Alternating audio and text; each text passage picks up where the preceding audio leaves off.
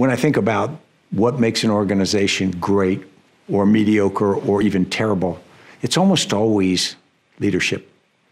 People say, well, it's the talent you get, or it's the facilities you have, or the investments you have, or the, the sexy mission you might have.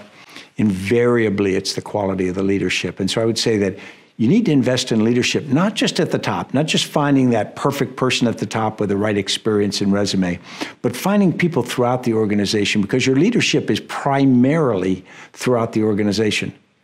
It's not just from the top. And so it's that first line leader second. Help them develop every resource you put into that time and money uh, into making younger leaders better pays off in multiples in the years after.